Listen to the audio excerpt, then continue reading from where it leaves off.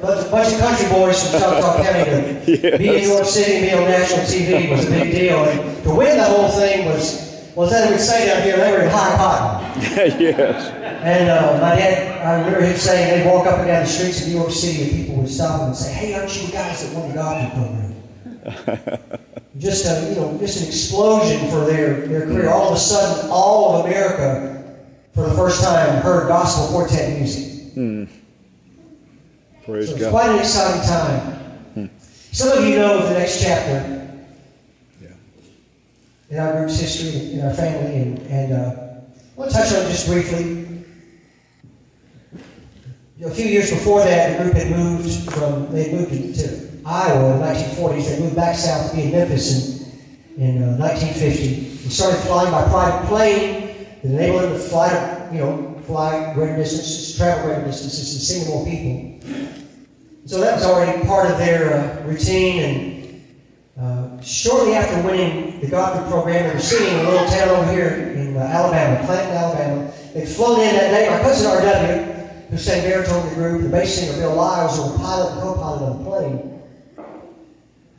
And they were going to be taking off after dark that night. They wouldn't be sure they had the lay of the runway, so they Bill and R.W. hopped in the plane. We were just make a practice run. We never knew exactly what happened, but something terribly wrong occurred, and the plane just went straight up and stalled and crashed and burned right there on the airfield.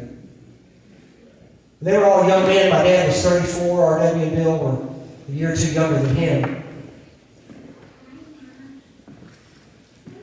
And you know, just a couple weeks before, they'd been to New York City, you on national TV, won the whole thing, just on top of the world, and it literally came crashing down two weeks later in Clanton. Hmm. My dad made a statement he would never sing again.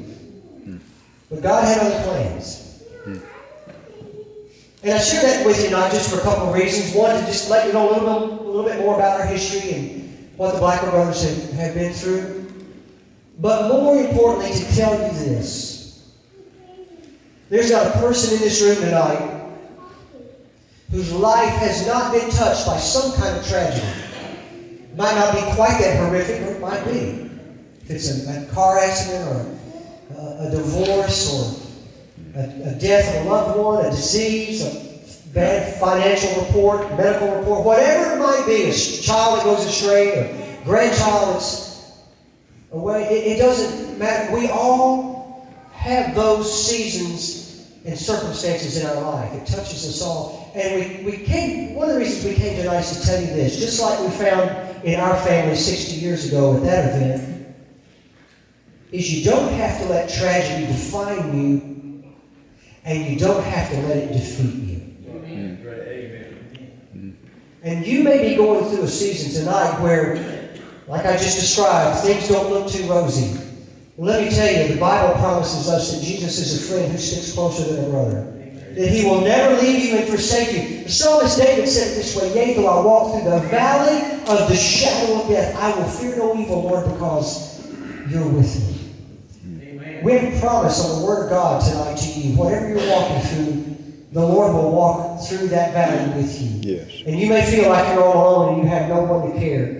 But let me tell you tonight, you have someone who cares for you. You're his child. Yes. He loves you. Amen.